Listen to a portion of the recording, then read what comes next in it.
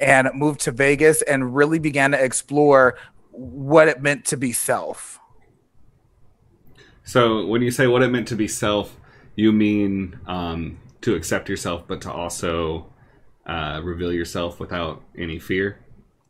Yeah, I definitely feel like it was both of those components. I come from a very black Christian family, and when that is the only framework that you have in, in, at least in my experience, um, it really stripped me of my confidence. And I really had to do the work to not only build it back, but also own all the parts of my story and be proud of it. Right, right. Especially with that, I know in that uh, that Black Christian community because I've seen it time and time again, um, and my friends and everything. When it comes to mental health and struggling with anxiety or depression or stuff like that. I was actually watching a Juice WRLD interview um, just like a week ago, and he was talking about how he couldn't go to his his mom about his his mental health issues like his anxiety or his depression because she would pretty much just say okay let's go to church instead of trying to help him find that professional help and so did that kind of reflect on you as well was there a lot of so I'll say, at least in my immediate family, that was not the case. My mom was a very a big um, uh, advocate for therapy and counseling and, and things of that nature, especially after my parents' separation and divorce. Um, but that is not the the case with with many. Um, I know for me, even growing up, like my mom did what she could, but there was that financial component that was there as well back then. That you know, a lot of the services and stuff that we have today didn't exist back then. Um, and so I, I, have friends and family members who that that was not their story. You know, uh, you know, and, and, a lot of times in Black culture, it's like, oh, if you're sick, take a Tylenol, put some Vicks on your chest, uh, have a Seven Up, and you're good. and it's kind of that. It's kind of that same thing as it relates to mental health for a lot of people people in that community in our community because it's like no black black people don't we don't have that. Like that is like that doesn't exist when obviously we we know that it does. Right right 100% i well and you know i wouldn't even just categorize that into into black people but you know like there's a lot of uh a lot of people who like for instance if you if we're going to talk about like upper class people um you know, like even if we're talking specifically with like white people, they would take their kids to the doctor and be like, "Yo, Timmy's not paying attention in school. Can you just give him some medicine and we can just move forward?" There's a lot of people that won't even take the time to question, you know, what they're putting in their kids' bodies, and you know, then these kids end up on Adderall or whatever it was. Uh, I think that's within every community, and I think now we're approaching a, a time era where mental health has become uh, one of the the main products of our existence, and it's becoming commercialized um, which is a good and a bad thing. Yeah, I'm definitely glad that there's conversations around it, you know, because you know, for us, even you know, growing up, it was like, oh, Norman's not act or he's not acting right in school. Let's just whip his ass. You know what I mean? Like, like yep. that. That was like the like the the the the remedy you know oh they're they're acting up or they're not doing this let's give them a whooping and right. i think that um, the conversations that we're having have shifted that mentality, um, and I'm really excited to see that.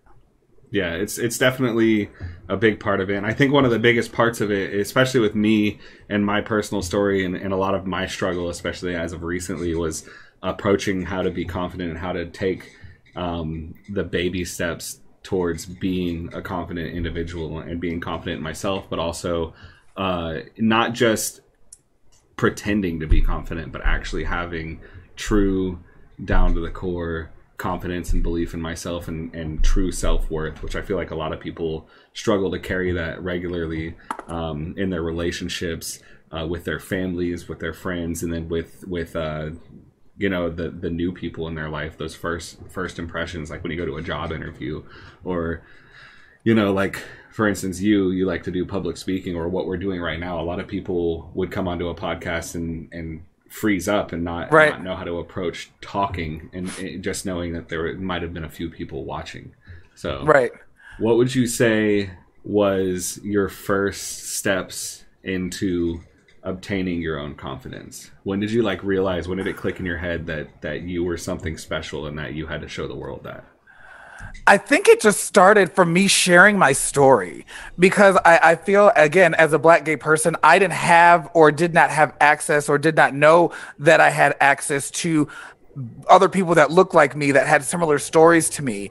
And so as I began to share my story, um, I began to feel I began to gain more confidence because it wasn't I wasn't hiding it. And I think a lot of times when when we are you know we're taught to mute our voices or quiet our voices or be silent completely, that's where the the lack of confidence comes because we're not owning all parts of our story. And so for me is I accept the good, the bad, and the ugly because it's all part of my story.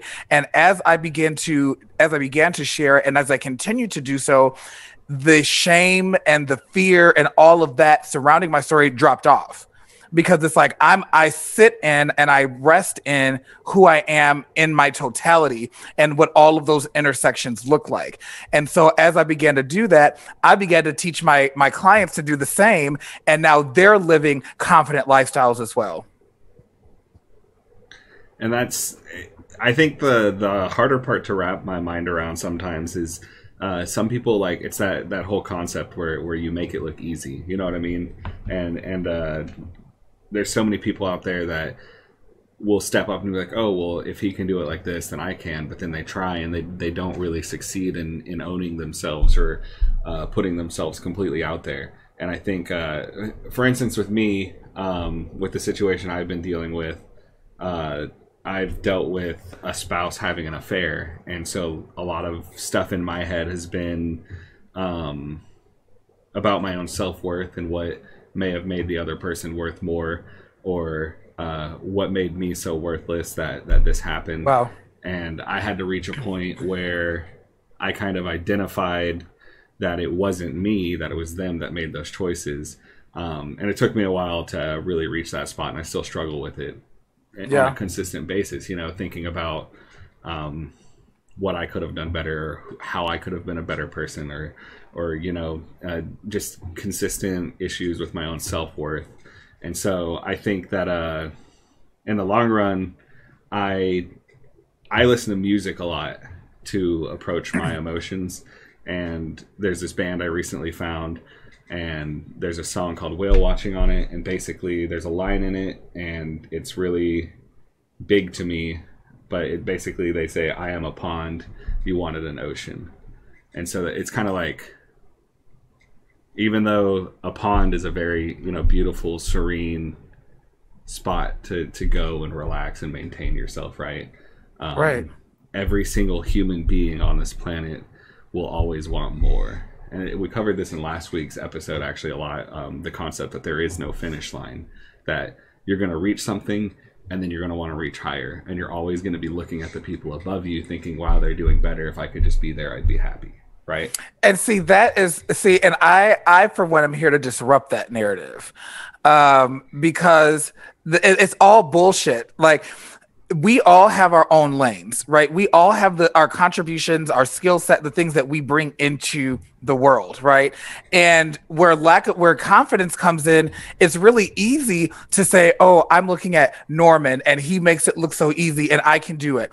But the the thing is, you can't judge where I'm at based on where you entered the story because there's a lot that happened behind the scenes. There's a lot that is art that is happening still behind the scenes. Like, and I share p- people and my clients, there's three things that I encourage all people to do, and I call them the three I's. We've got to do things imperfectly. Perfection is never going to be something that we attain, and it should never be the goal, okay? Because if we have reached that, then there's no more room for growth or evolution. Also, we want to do things immediately because if you're anything like me, if I drag things out, I will talk myself out of stuff before I even start. You know, like I, like I mentioned, I recently wrote my book. That book had been I'd been sitting on that book for years because it was like, well, who's going to want to read a book from this gay guy from Chicago? Who you know, like I like it, it goes back to the worthiness, the self worth. Like I was like, who would really want to to read this? And then to do things intentionally, to really uh, uh determine and evaluate your why. Why am I doing those things? And I feel like if we do things imperfectly, immediately, and intentionally, it will create the character within us to become that confident person.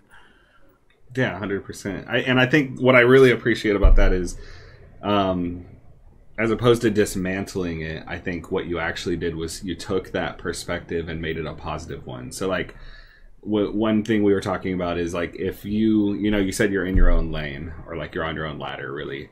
Um, if you're climbing on the same ladder as someone else and you see it that way and you're like you know let's say you're looking at it and uh, they're above you they're they're further along on that ladder right? Then you're constantly just looking at their feet and feeling bad about yourself. But if you're climbing your own ladder and you don't strive for that perfection and an understanding that there there needs to always be a room for growth and that that room for growth is a positive thing and not a negative thing.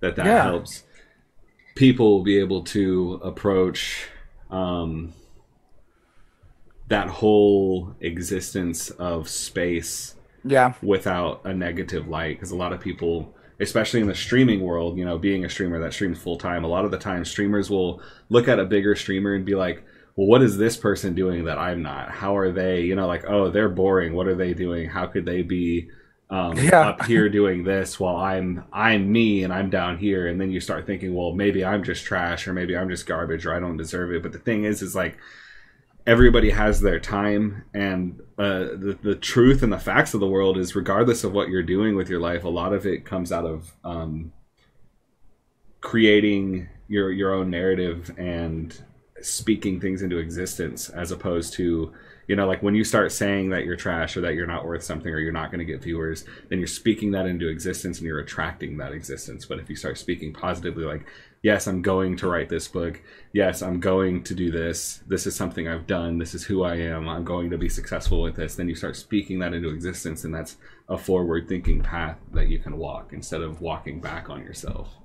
And then just understanding too that everyone has their own their own way, their own like for example, as an author and coach, I I experience what you just described on a daily basis. You know, I'm like, oh, well, this person wrote a book after me and it's doing this. Or, you know, like this person has their broadcast. But at the end of the day, we have to honor where we are, you know, and even going back to as it relates to mental health, there are some days that for me, the win is making it from my bedroom to the shower and I honor that and I celebrate that, you know. And there's other days that I book a, a huge paid speaking contract and I celebrate those things too. But I also uh, understand that I you have to celebrate every win, whether it's big or small. And you know, and I think COVID um, in 2020 really taught me that because there was some days that I couldn't get out of bed like I physically felt like I could not. And so I celebrated the win when I made it to the living room, you know, and that was my win and I was I was grateful for it. So when would you consider yourself more of an extrovert or an introvert? Extrovert.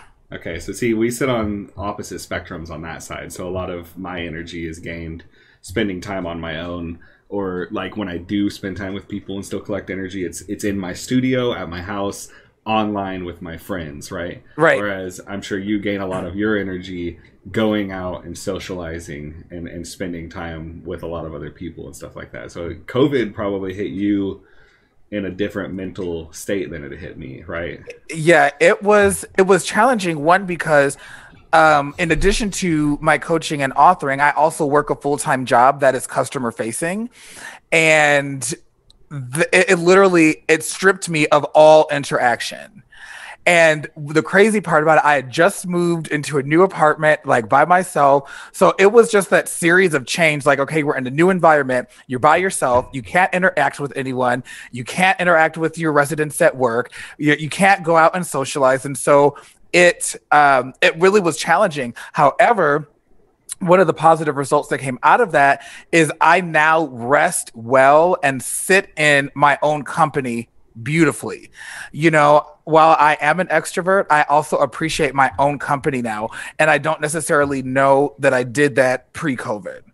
I think that's a super important thing to acknowledge too. Uh, I've actually talked to my therapist about that um, when we were talking about my personal needs and how I collect energy, and um, she basically made it a point to to let me know that it's possible to be both an introvert and an extrovert and just be like more sided to one side. And uh-huh. there's times where you do like for me, like there is times where I do need that social inter- interaction. Um, right. Just like for extroverts, there is that time where you do need to find safety and solace in being alone and right. um, being able to comfort yourself. But also, uh, like like for instance, when when you were putting together this book and writing this book, were you spending time with other people while you did it, or were you alone with yourself while you wrote? Alone by myself when I wrote.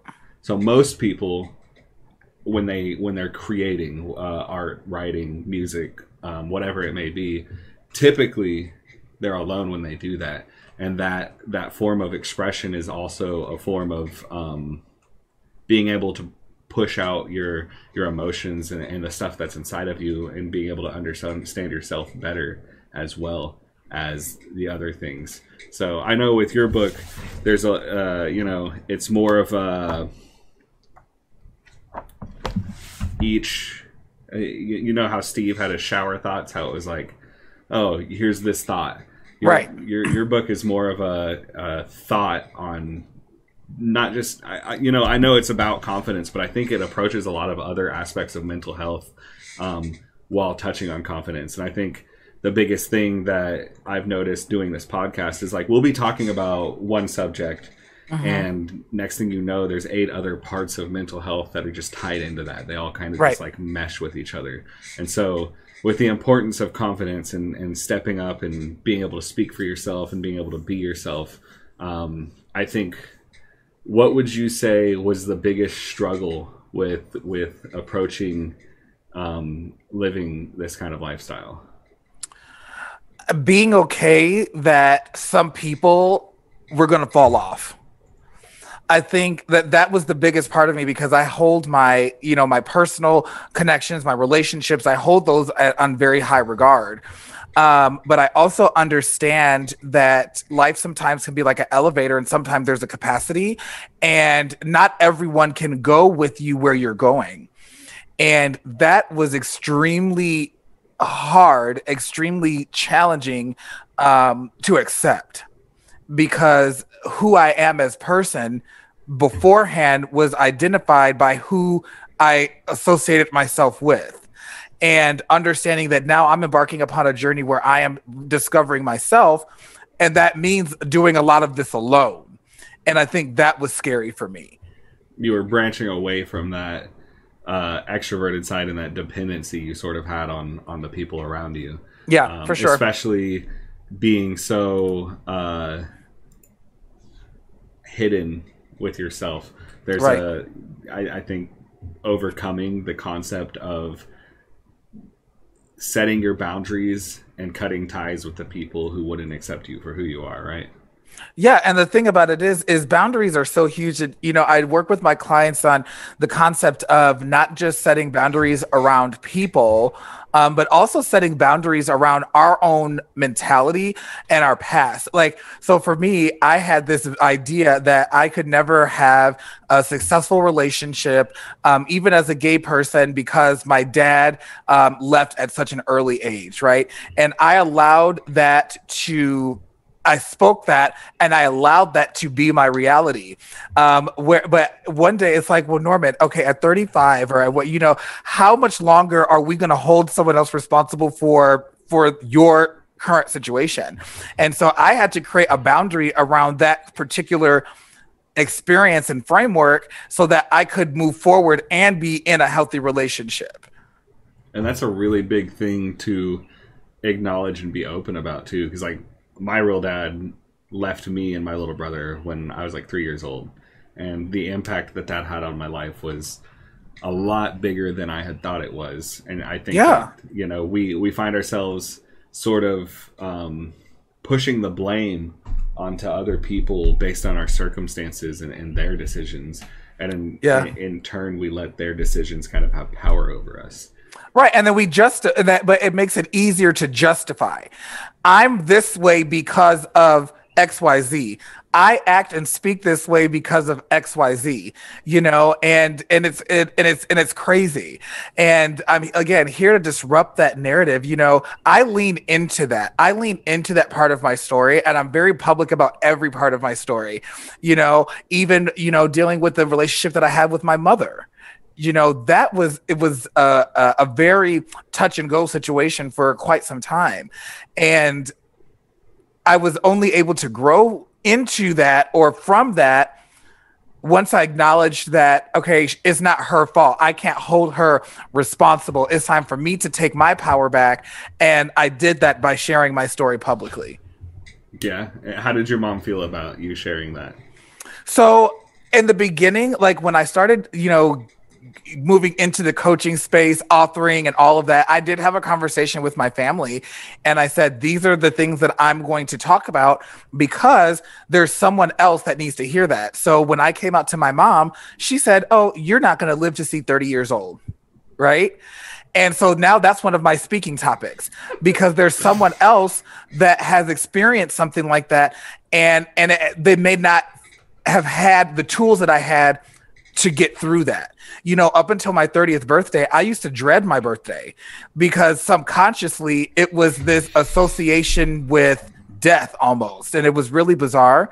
Um, but then I realized after a conversation and my mom doing the work on her end too, that that came from a, a really a, a, space of fear, not necessarily saying like you're going to die, but it was very much I fear for my child because I love you so much. And all my only framework to acknowledge this is everything that I've seen in my past. And so, you know, luckily we were able to, you know, repair that and now we're super close. But if I had not shared that, there would have been people who would have thought that they were the only one or thought that there was something wrong with them because their parents approached, you know, their their life or their situation in a particular way. So would you say that some of the first steps to because we, we talk about uh, progression a lot in the sense of baby steps. Uh-huh. um, and the analogy we typically use is one that i was showed one of my therapists showed me um, basically the neurological pathways are like a field of tall grass. And when you walk through that grass enough you set a path that you're going to keep taking. And if that's an unhealthy path it's harder to get off that path. So you need to start taking the baby steps onto a healthier path and start creating the new one until it's easier to walk it. Uh-huh. And so, would you say that the the the baby steps at the very beginning, um, I guess for you, maybe maybe for most people would be um, branching out and being more open and having open communication on your emotions and who you are with the people that you love. See, I think it it starts even in a different direction. I feel like it starts with having those conversations with self then because I use the analogy like when you're on an airplane and those masks come down, they say put your mask on first and then assist the people around you and you know help them. So I, I believe that those conversations, that internal dialogue, that discussion, that starts with self first. Because I feel like for me, at least in my experience, I had to know that I was strong enough when I had those conversations with other people that if they went completely left, that I would still be okay. So you kind of had to approach your own acceptance before sort of uh, guiding people into accepting who you were as well. Right. And and being okay with them not accepting me. Because at that point, I've already accepted myself. I love myself in totality. I am over the top, and that's just enough. And once I was okay with that and I, I embodied that, it was easier for me to share my story and interact with other people because at this point, this is who I am. You can take it or leave it. And either way, I'm still going to be good. You're going to find your happiness within yourself and you don't Yeah, I, yeah, I already have it. I got it. you know? Right. I think that's one thing that I've had to approach in my life too, especially with uh, love and relationships. Um, finding the point where I could be happy by myself on my own, um, regardless of who comes in and out of my life uh-huh. that's a big part of uh, approaching not just confidence but uh, happiness in general yeah. um, is acknowledging that no one else is going to be able to provide that for you nope. so that's a pretty big step yeah. and we come from two very different backgrounds you know uh, i come from a very I had a, a, very conventional Christian family growing up, but um, I was definitely more on the privileged side for a while. Like I, when when I had a single mom, um, we never really struggled because my mom's parents were always wealthy enough to provide for anyone and everyone in the family that needed something. So me um, never really having to struggle on any of those fronts. I had a lot of open space to kind of do what I want, and uh, I think for me, it took a lot of hard lessons to to really figure out myself. But I found that part of myself. Um, I think when I was probably 15 or 16, I really started branching into different phases with different styles, uh, wearing you know girl jeans and embracing my little emo phase and everything in between. And I, I found that as I was doing these more weird things with my style and really trying, because I have a very feminine side um, that I never really spoke for until I really reached a point where I felt like this is who I am, this is what I'm going to be.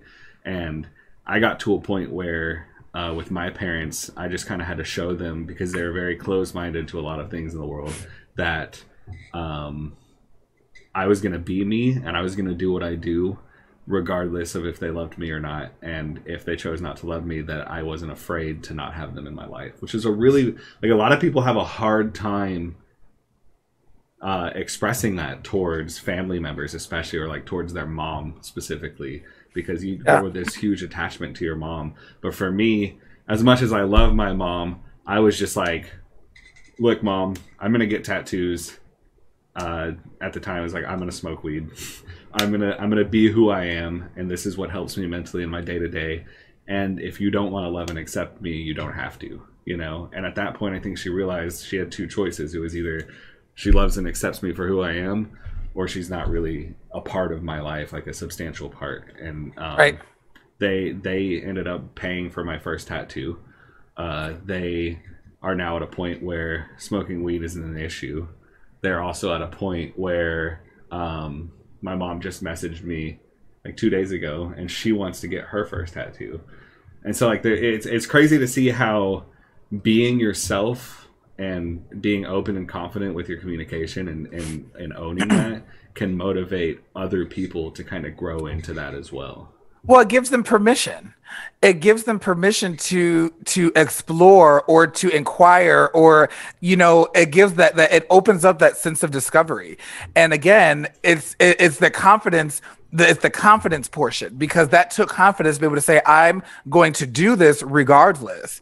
And when you truly stand in that, people are, "Oh, okay," and and and and it, and it trickles down. Right, and and showing people that you truly don't have a problem with what other people think. So like, right. one thing I've been going through recently, um, you know, with my wife having an affair, and then afterwards, we we we, we went through a, a couple different stages of processing, and we're still going through it uh, on a on a day to day basis, right? Um, I'm still with her, but we are also now in a polyamorous relationship with another girl and a lot of people that are close to me wanted to express how they thought that I was just creating a band aid for the situation, or how dating this other person would take me away from my wife and my daughter. And there was obviously a ton of concern, right? A ton of, um, I, I don't know if I'd say judgment. There's probably some judgment, mm-hmm. but just a ton of uh, back and forth on people approaching me about how I'm living my life and what I'm doing to to follow my own heart and to approach my own happiness, right? Right. And throughout all of this, I had to reach a point where I had to understand that not everyone's going to accept me or what I'm doing or the choices I make. Um, not everything is going to work out exactly how you want it to, regardless of right. who you are or what you think. Um, and the only thing you can give is your best, right? Right. and I reached that point. I was like, so at this point, it's like anyone that wants to come at me sideways about, you know, whether it be my wife's mistakes or how I still accept her, because I've had a lot of people that are like, you should just leave her. You're stupid for not. And trying to, it's like people people have this dictation to tell you how to live your life based on what they would do or what they think they would do in a situation. Right. And I think that we as human beings can't really express to other you know you you will never live in my shoes and i will never live in yours you know? Right right. and for me to own my shoes confidently i gotta put my feet in them. You, you know what i mean? period period. Period. So, no, I totally, I totally agree with that, and and and that is such a, a, a great example of really sitting in your confidence, like to be able to say, "This is what happened. This is what I'm doing, and I'm and this is me," and that is so huge. Even you know being able to to share on platforms such as this like this builds confidence. Speaking about those things speaking about the things that we've gone through um, the things that we're going through um, and kind of how the, the our mind is processing it and how we're moving forward i feel like all of that it builds confidence. Definitely. So as i'm approaching everything i have a lot of goals in place right i have um, things that i want to bring to life that i've never really done before there's a i'm, I'm trying to learn how to draw i'm processing through the idea of writing a book of my own um, from a very different I think everyone that writes obviously writes from their own own place, right? Mm-hmm, um, mm-hmm. And I've looked at what you've done, and I have a few other friends that have also written books and stuff. And I think the the thing that has been hitting me is I don't know where the fuck to start. I, I, I sit and I'm like, man, I know I can do this, and I'm gonna do this, but I haven't actually sat down and started started the process yet. And um, what what would you say when you when you were writing your book when you originally came up with the idea of what you're going to write and everything? Uh, what pushed you to just start and to just do it? I knew that I so one is I put a date on it, right? I said I want my book done by March 21st. Like it was just that was the date. Um, but then I also understand, like, for example, I don't know anything about streaming, right? So I'm not going to learn about all of that today. I'd never written I had never written a book. I was not about to do all of, you know, and so what I did is I hired a coach that specifically is an expert in writing, publishing, all of that. So now it was like it was double fold. So I made an investment, right? And so now I really felt compelled to see this thing through but then I was able to collapse my time by working with someone who had already done this.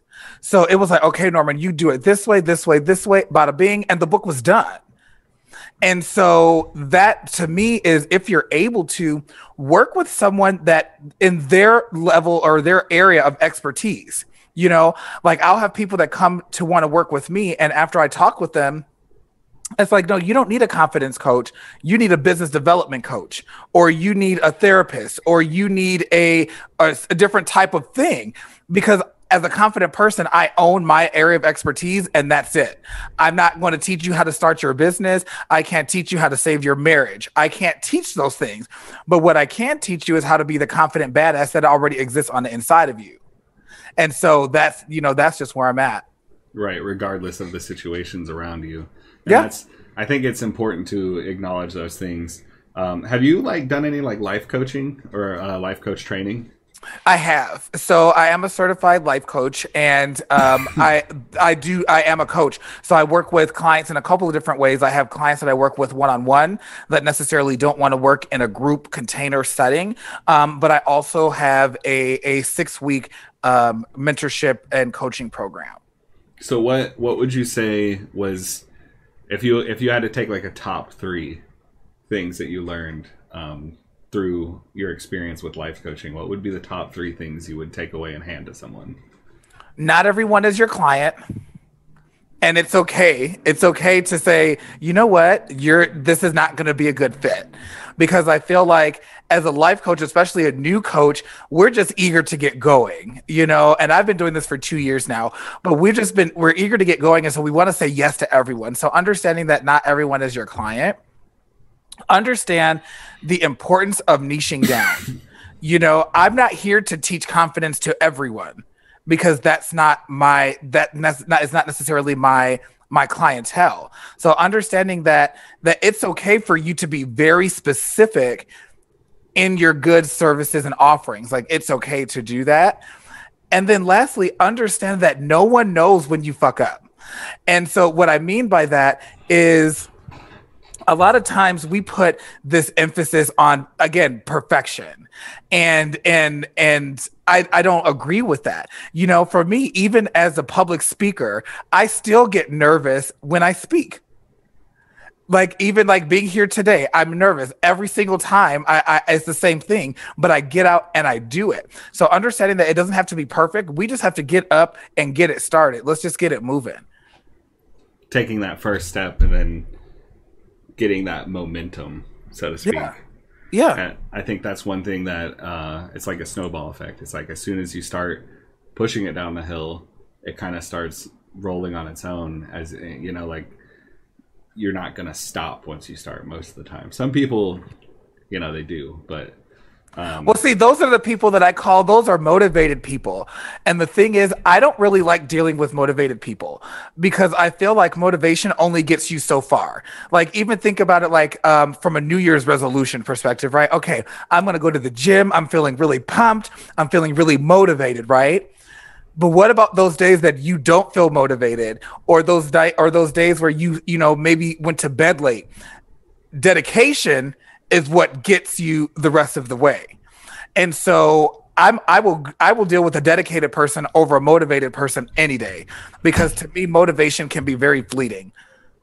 yeah someone who just like for me it's like uh i don't find the dedication unless it's something i'm passionate about and so Right. it's hard for me um to to go to the gym so to like that's a perfect example for me is because like i'll be like yeah dude i don't want to be fat anymore i want to look good i want this and this and this but i don't have like a huge passion towards like being a, a model or uh, you know whatever I would do with that body in the long run. That's not where a lot of my passion lies. A lot of my passion lies with the art that I create. And so when I find myself dumping myself into something or being completely dedicated, it's to the the creation of music or art or like my stream, for example. And I think what you said about the life coaching, not everyone being your client, that can apply to anyone that does anything you know like um, with streaming that's one thing i've had to realize in the five years of being a, a video game streamer. There's been people that come in and they support and they support and they support and then they disappear. And um, you have to kind of learn that uh, everybody will touch each other in a way and some will fade and some won't. And you have to learn to be okay with that fading regardless of who it is. You have to be and you have to learn to be okay with um, circumstances that may happen that cause you to, to cut ties with someone especially if someone goes outside of your boundaries or someone pushes you to go outside of your own boundaries. You have to be okay with cutting ties with with the people that cause you to go down those paths Exactly. Exactly. And and and understanding that they were not meant for you to go in they weren't meant for the rest of that journey. They served their purpose, you know, for whatever reason they were in your life, and now it's time for them to go. And and understanding and and really uh, looking at our circle, looking at the people that are closest to us, excuse me, and making sure that those people are the ones that sup- support us, the ones that push us, the ones that encourage us, the ones that understand that today I may not be having the best day and I need to be left alone. Or, you know what I'm saying? Like, it's important to have those people in your circle. Yeah, one hundred percent. So I think now is probably a good time to share the first page.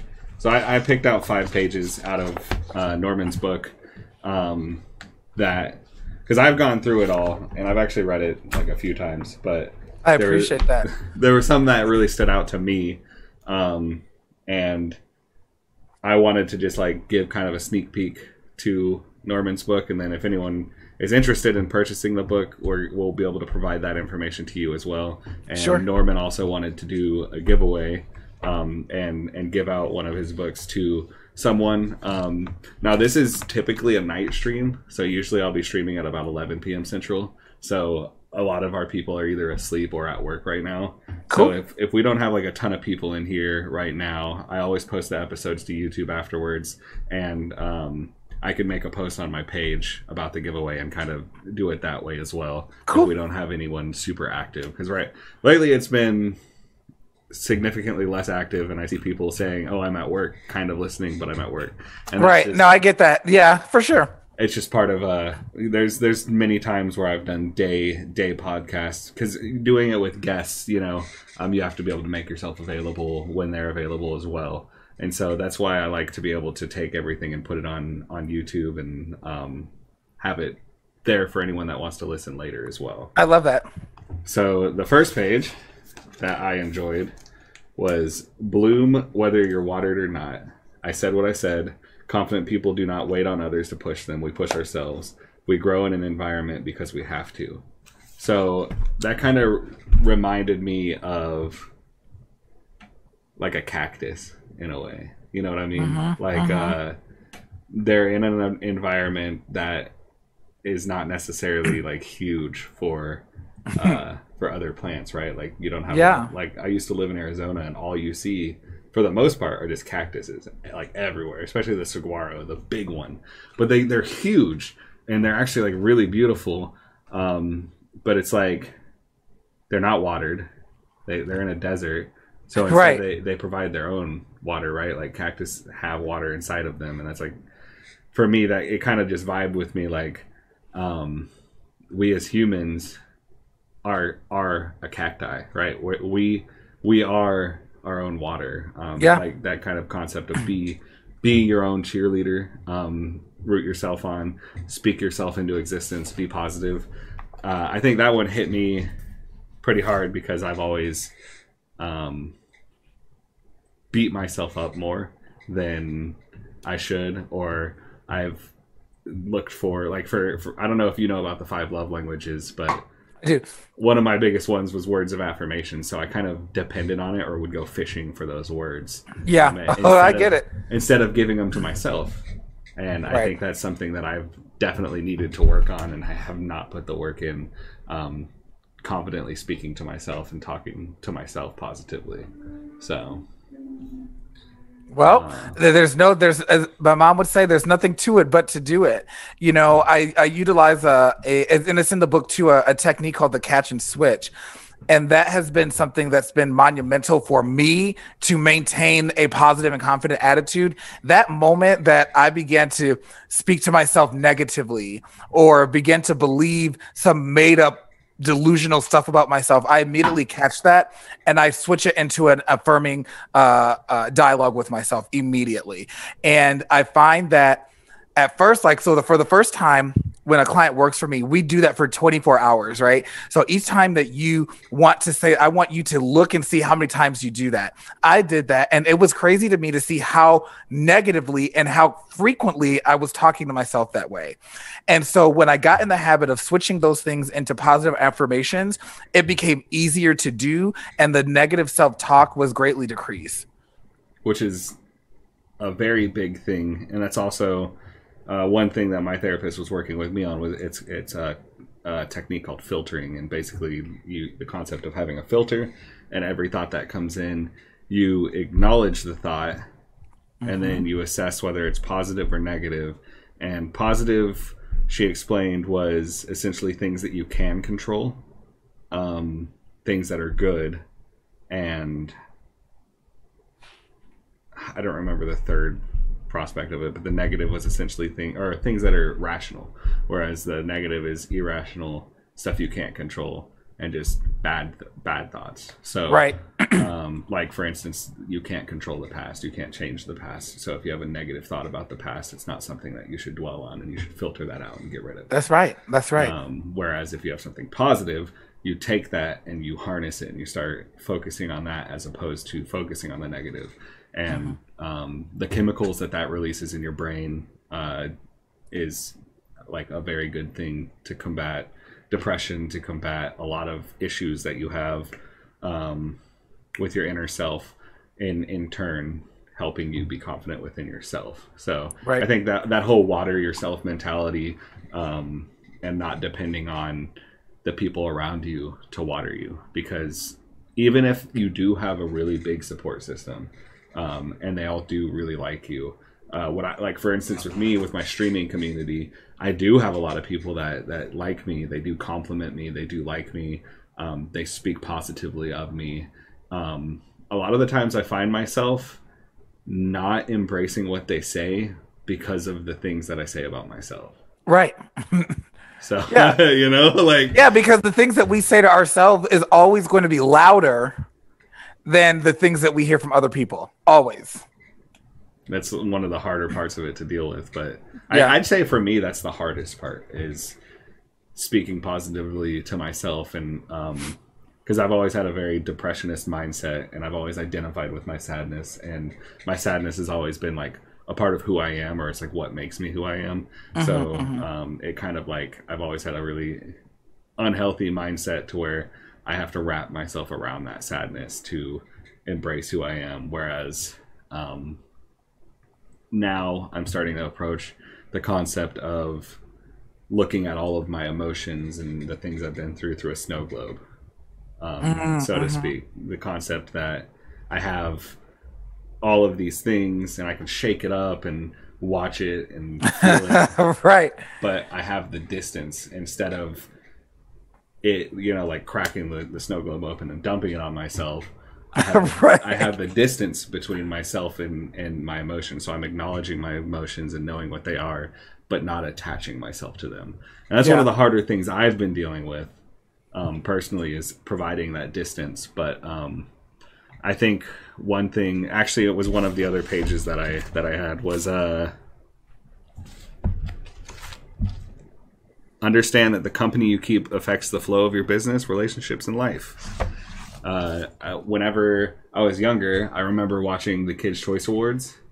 Um, on Nickelodeon, and uh, Will, Will Smith. Will Smith was the host, and he came up and he just he had one message for for the younger generation and it was this has stuck with me since i was a little kid that's what's crazy about it is like i don't even think i, I was like a really huge will smith fan or anything when i was a little kid it was just I was watching the, I was like, Kids Choice Awards. Yeah, fuck it, I'm gonna watch this. This is tight. Like Nickelodeon Slime Time, all that shit. It was, it was a vibe, right? right. and so my little kid ass was sitting there, and he said, he came up and he said, if there's one thing that I can give you guys as a piece of advice um, to the younger generation as you're growing older, it's that you are who you hang out with, uh-huh. and that you will become who you hang out with. And so, like, be aware of the people you spend your time with because if you see someone and you're like, man, I really don't want to be like that, but I'll accept them and spend time with them, but I don't want to be like that, you're going to become like that. You, uh-huh. Human beings have a copy paste mentality where um, even if you're a leader, the people that you surround yourself with have more of an impact on you than you know. And if they're going outside of your boundaries, you have to understand that you're going to go outside of your your own boundaries. And exactly. So exactly. I think that was one of my favorite pages because it's something that I just relate to heavily. Um, yeah. With decisions that you make, and like for instance, um, what they teach you in rehab if you're a drug addict. Don't have drug addict friends. They teach you that. They're like, even if it's like one of your best friends in the whole wide world, if they're a drug addict and you're a drug addict, guess where you're both going to be in the end when you spend time together? Doing drugs that's just it's something they teach you. It's it's just how human mentality works. It's that whole um, give you permission thing. Like when I was talking about with my mom and everything, it's the same concept. Like mm-hmm. if someone's acting a certain way and you don't like that, and then you start spending time with that person and caring about that person, they're sort of opening a door for you to give yourself permission to act that way. Exactly. Exactly. I agree. I agree. 100%. And I think that is one of the major shifts that happened for me in 2019. Um, I made a very conscious effort of who I associate with um, professionally, personally, in terms of relationships, all of that. You know, I wanted to be around people who were, you know, entrepreneurs and and business owners and people who were living their best life and people that were confident and people that you know were were challenging themselves and growing and developing themselves. And that was one that honestly was one of the most most significant shifts that I made back in March of 2019 and it was with that decision that gave me permission to really be me authentically. Sort of weeding the the bad ones out and breeding the good ones into your life type deal. Yeah, and and being around people that appreciate what I bring into the room, the energy that I bring to the room, uh, and it, it's it's changed the game for me because I wasn't used to having people that uh, appreciated my gifts, talents, and skills you know? And so to be that and to be in that place it really gave me permission okay norman this you are you are moving towards alignment. You're right where you need to be so, what other ambitions do you have? What other goals do you have in mind after after finishing this book and pushing this book out? What what what do you think is next? Oh, there's so many things down the pipeline. Um, so we got our new merch out, uh, the over the top living signature tees. Um, there will be a journal to accompany this book that will be released in quarter four. Um, and I'm also working on a children's book in addition to, you know, my coaching and, and all of that. But my ambition is to continue to help people one person at a time, one confident unicorn at a time. And I am looking very much forward to when I no longer have to work my nine to five and that I can really put 100% of my being, my passion, my heart into into my business. So when you say a journal, do you mean like kind of a guided journal, like a? Uh, yeah, it's gonna be it's gonna be it's gonna be prompted. Okay, okay, and then for the children's book, is this like a subconscious teach them confidence before they grow up, or is this just something that was a side thing that you just wanted to write a kid's book? So this one is the kids book is actually going to be geared toward the acceptance and, and diversity. So um, it's going to be from the standpoint of a, a child, a kid who has a gay uncle. Okay, and and it's going to be all about finding that acceptance. Mm-hmm. And and just and and just really introducing, you know, a different concept to younger people. You know, I think that especially nowadays with the conversations that we're having and just where we are in general, conversations are happening a lot sooner. And oh, yeah. I want I want to be a a resource for that young person that never knew that it was okay. You know, I had a gay uncle and it was always hush hush. Like we knew he was gay, everyone, but it was something that was never talked about because there was this stigma attached and I want to disrupt that. And so yeah, we're that's that's one of the other projects on the horizon. Yeah, stigmas are just a bad thing in general. Yeah. Yeah. Hiding anything that exists, like the elephants in the room, it's just like they should just be there and everyone should just acknowledge it. And yeah. elephant. Like it's yeah. I think that uh that's actually a, a, really amazing concept and I think um I was actually talking to one of the other confide members who is a, a, a gay man that lives up in New York, and he's one of my favorite people to play video games with. He's super funny. Um, we're both very able to communicate with each other in a lot of uh-huh. ways that are on a uh-huh. deeper level because we share a certain sensitivity. You know what I mean? Like, I think with grown men, there's a big stigma behind sharing emotions with each other, and right. Uh, being able to reach that point where you can share your emotions with with your friends as a man is a really big thing.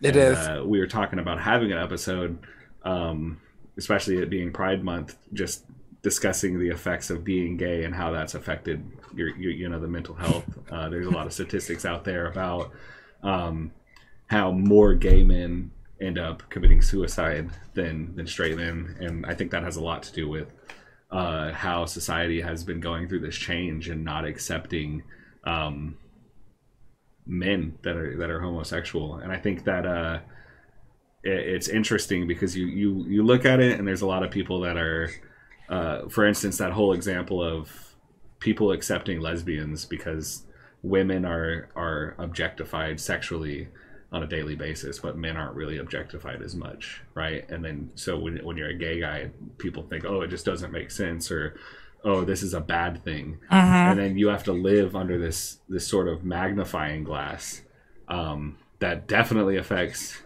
your brain growing up and, and who you are. And I think that this has been a really golden opportunity to just kind of provide that perspective in and of itself without even thinking about it. Having you on the show, right in the you know right at, right towards the end of Pride Month.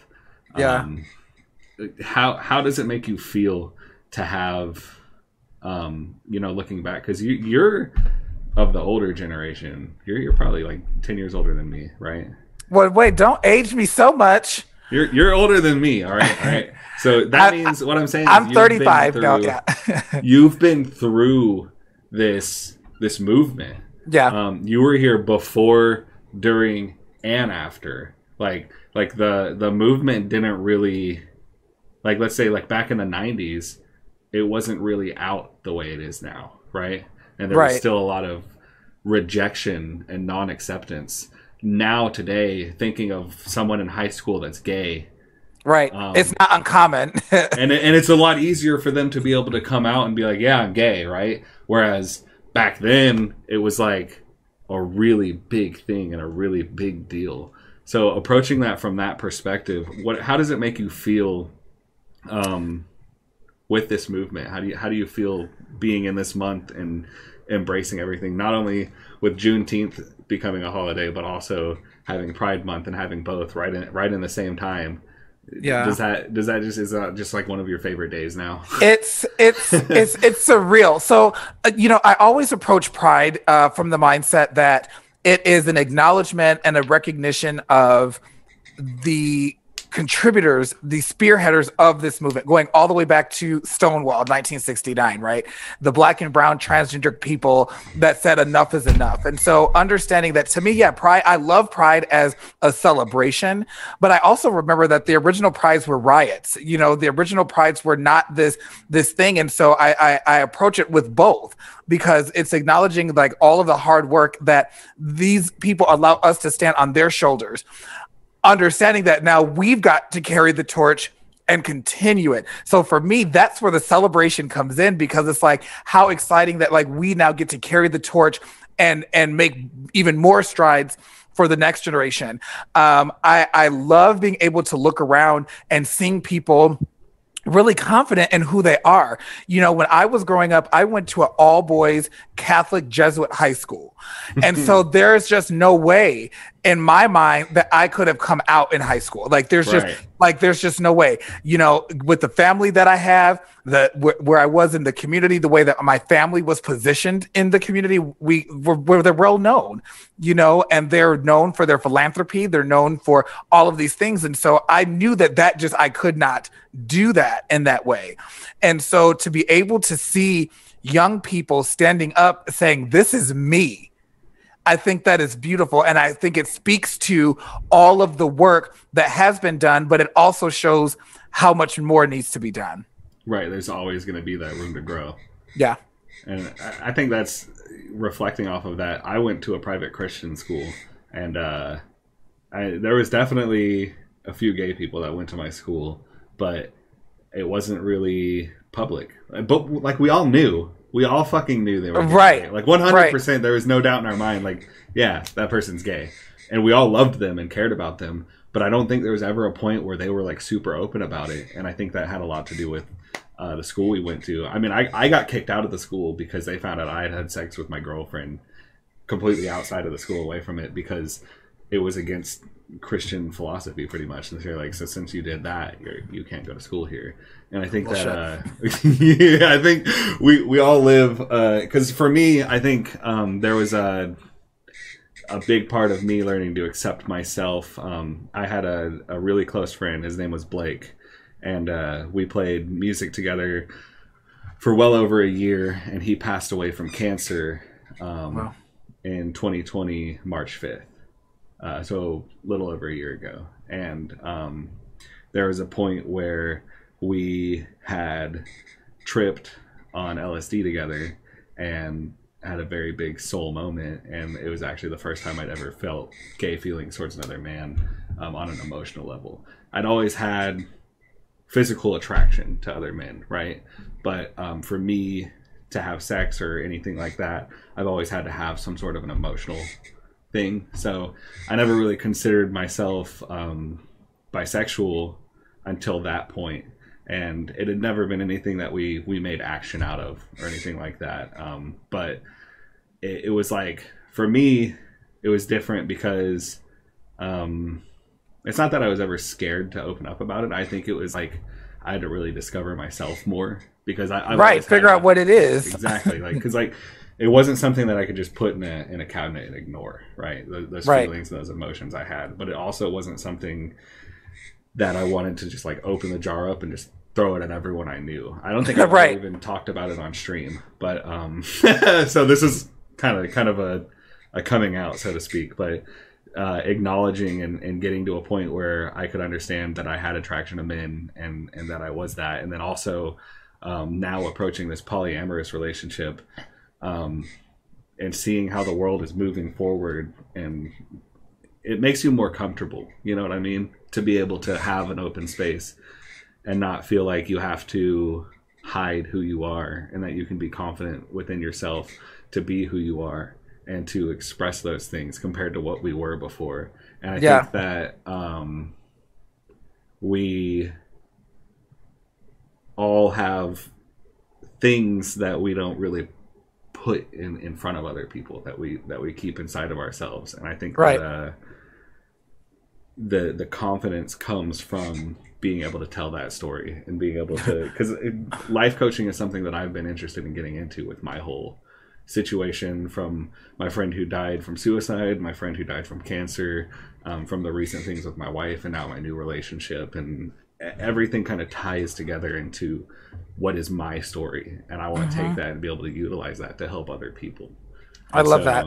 i think that you're definitely a huge inspiration and i appreciate you coming out and, and being being here um, I appreciate it. I love this has been that I mean that hour flew by. My goodness. Oh, 100%. That's why whenever we do this this podcast, we always our time frame is always an hour to two and a half hours, and then when we hit two, we're like, okay, we need to like crunch because we just get talking and talking. And there's so much that you can approach with mental health from every perspective, from everyone's stories. Um, so I did have one viewer who came in and she said, um, I have struggled with self confidence since a very young age because the person I trusted the most and looked up to most of my life made it his job to destroy my self esteem. Now, as an adult, I'm still lost and I just wish I had confidence because I feel like it would make such a difference in my life. I don't even know where to start to build back up. What, what would you say to her? I would say that you've already started. The the fact that you're able to acknowledge that and speak it and post that that that's the first step, right? So you have started. So give yourself the grace and space and the credit for that. I believe that you have started it. Um, I also would invite you to connect with me. I'd love to. I'd love to see if I have something in my toolbox that can help you.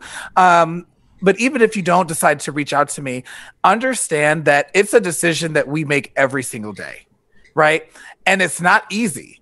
It's going to suck. It's going to hurt. But understand that your future self depends on it. The we we weren't put on this planet just to live and die, and you did not go through that just to go through that. So I would really invite you to explore the impact that that having confidence would make in your life and conversely think about how the lack of confidence and what that lack of confidence is costing you in every area of your of your life and let's set an intention. Why is having confidence important to you? What is having confidence going to bring to your life? How will your life change for the better? And I think that when you begin to identify those whys, you will naturally start feeling yourself moving towards a more confident lifestyle. And for anyone that does want to connect with with uh, with Norman, how how would they go about connecting with you? So I've made it super easy. You just can go to connect.overthetopliving.com and that has literally it's my link tree. So it will have every like I have my website, Instagram, Facebook, um, all of that is right there and you can connect with me uh, uh, Instagram preferred. So I just put that link tree in there. Um, you said Instagram is preferred. Uh, Yeah. Do you do you have a TikTok? I do have a TikTok. Um, my name on TikTok is the Mr. Liverpool, and on my TikTok you can find 60 second clips of confidence building videos. So you know, I, I always come and say, "Hey, this is Norman J. Liverpool the fourth, your confident lifestyle coach," and then I'll give you about 45 seconds of of, of some confident building um, words of wisdom. Okay, I gotta follow you real quick. okay. I've been so I've been wanting to put out I just made my TikTok and I haven't made my first video at all yet because I've been wanting to put out um, smaller clips as well of just like mental health um, Mm-hmm. advocacy tips, especially clips from like podcast episodes. Um, like there's some stuff that have been said here, like because it's so funny because there's things that I've said that I've never really said before that I was like, wow, that should be like a video. You know what I mean? Like Right. be put out there. And I think that's like that's one thing to have this open space is such a fortunate thing. And I feel like I'm I'm very lucky to have stumbled upon this idea and to be able to have the people that I because I find them consistently and I connect with other people um, on a regular basis and they always bring like a new light or a new uh, new existence towards um, our existence and, and our comprehension of mental health. So, Yeah. uh, as far as the next pages, I'll, I'll just run over them real quick. Um, I think I have three more. Uh, remember, you're not fooling anyone. Your energy will always tell on you. Time is out for faking the funk. Your energy speaks before you open your mouth. Confident people are okay with expressing exactly how they feel at any given moment. And guess what? You're a confident person. So I think with this one, it really tags on um, passive aggressive people as well. Um, Yeah. which I have I have a tendency to be passive aggressive, but I also have a tendency to not say exactly what I'm feeling and like in the hopes that someone will kind of guess. And that's something that I think a lot of humans do, and it's something that you really have to get out of and understand that people do feel your energy and do see what you're you're doing and what you're approaching. Um, the next one was teach your friends how to friend, um, which is kind of played off of how the whole you are who you hang out with thing, but also um, they are you. You know, like when, when they hang out with you, they become more like you. So try to be more of that leadership role in a friendship and um, make sure you have friends that are trying to give you what you need as well as allowing you to give them what, what they need. That's Right. right. That's right. So I, I I really liked that one, and then um, the other page I liked was stop hiding behind your gifts. They already made room for you. The very things you're hiding are the things that will change your life. Fuck the folks that made you feel you were less than than because they were intimidated by your greatness. You're a star. Shine bright. Boo. That's right. And I, I love the little pet names that you put in there. It was just like Because just that's really how. I speak. Like I say child and boo and honey and like that's the way I speak. And it was really important that it was translated in my book because Right. it's this is me. So I wouldn't I, exactly how I wrote is exactly the way that I speak. And it's just like you said with the whole not everyone is your client. Well, not everyone is your reader. You know, That's like, right. Like the people that do read it, they they're there reading it for a reason. They're not. It's because in in some way, shape, or form, you're touching them. Right. Um, I know you wanted to do a little book giveaway. We do have Yes. a few people in chat. I'm sure we could work something out. Um, how did you want to go about that? So what I do is I'm actually going to do three copies. So we'll do three copies. So all you have to do um, is, and I'm only going to give away three. I just ask that you go to my Instagram, the Over the Top Living. So it's on Instagram. It's the hat uh, at Over the Top Living. Give me a follow, and then DM me the word confidence. And that will put you into the drawing. And i understand that some of your viewers are their later stream so i'll keep this going until midnight pacific midnight pacific time which is 2 a.m central.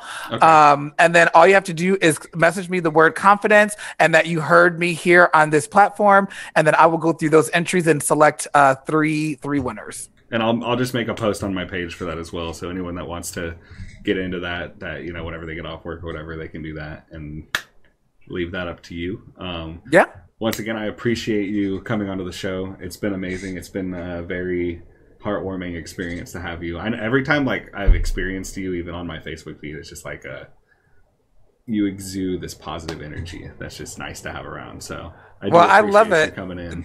no thank you for having me it's been my pleasure and anyone that wants to check him out there i posted the website in the chat um, to his link tree um, also just a quick reminder to everyone in the pinned comment in my post if you have spotify we do have a mental health playlist anyone that has been touched by any sort of music in any way shape or form is welcome to add that music onto the playlist, um, including you if you have Spotify, Norman. You're welcome Okay. to on the playlist and throw some music in there. It's just basically like if it made you feel happy, if it made you deal with your sadness, whatever it may be, throw that music on the playlist. You're helping a lot more people than you know in, in Love it. having that. And um, yeah, I think this is a good cutoff point before we get to the point um, of babbling. Anyone that does want to support him and just buy the book or buy. Uh, It is shirt- available on Amazon. Sorry, I got mine. Yep, it is Um, available on Amazon. Where where can they get the shirts? So the shirts, um, right now you can't yet. We just released them last week, where they just came out last week. So, but very soon they will be available on my on my website. Oh, on your website. Okay, cool. Well, let me know when they're available, and I'll share it to my page as well, so that anyone that wants to get a shirt can get a shirt. Um, Awesome. This has been an awesome episode of Confidecast. We will post this on YouTube um, later tonight, and I'm glad everyone that showed up. Once again, we love everyone that showed up and dedicated any time to listening to this. Yes. Um, you guys mean the world to us, and we will see you on the next episode. All right. Thank you.